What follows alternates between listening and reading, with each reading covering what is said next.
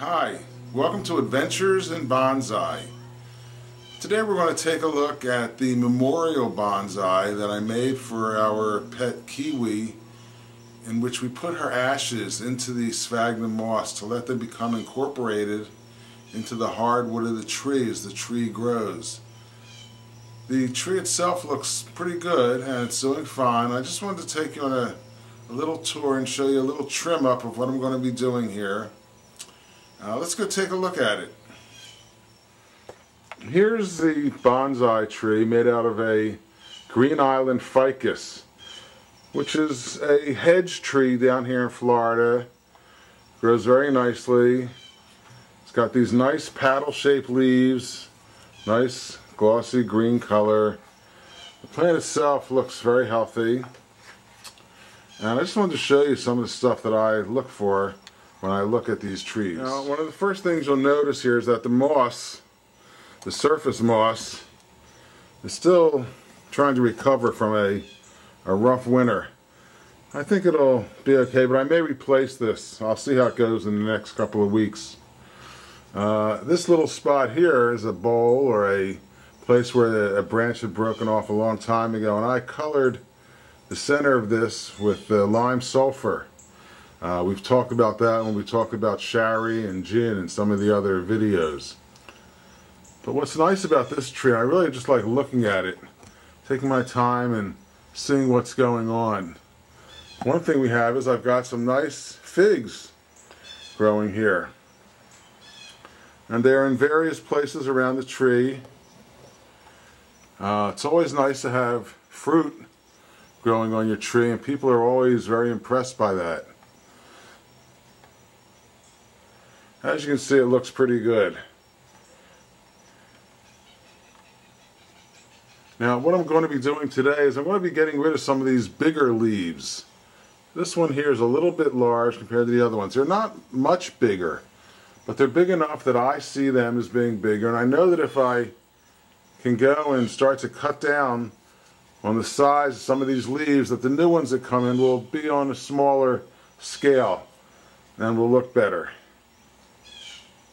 Now another thing I like to do when I look at this tree is just kind of look at it and see like what's going on in terms of what does it remind me of. And this this here kind of reminds me of a guy that's dancing. Here's his body and his legs coming down. It tilts up up here and here's his head.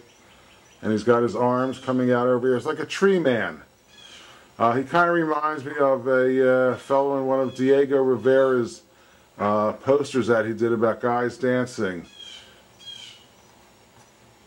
But let's go take a look at some of these leaves and start cutting some of them I actually off. do have real bonsai scissors that I occasionally use, and today that's what I'm going to use.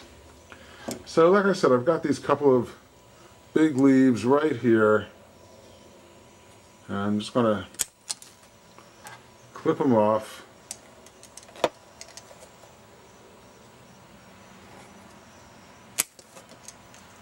And keep looking for some more big ones.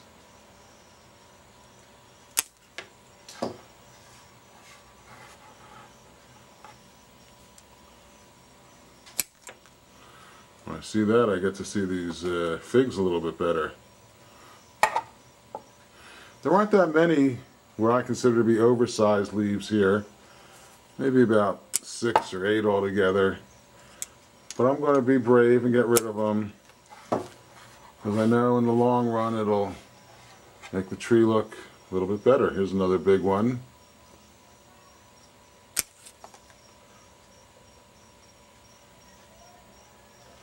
These leaves are just crossing each other and kind of hiding the fruit behind it so now I get a little better view of that.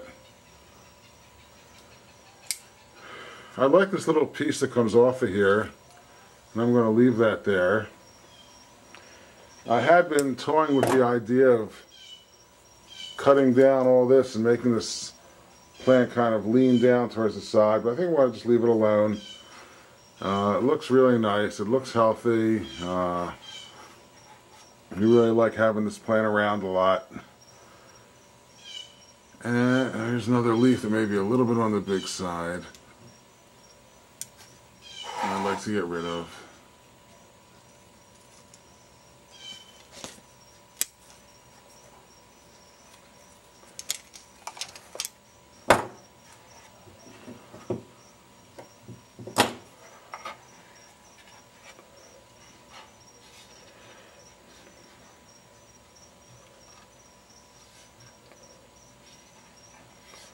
These are really nice trees for bonsai. They're really healthy. They grow well. And you can even have your own tree man. Have fun with your bonsai.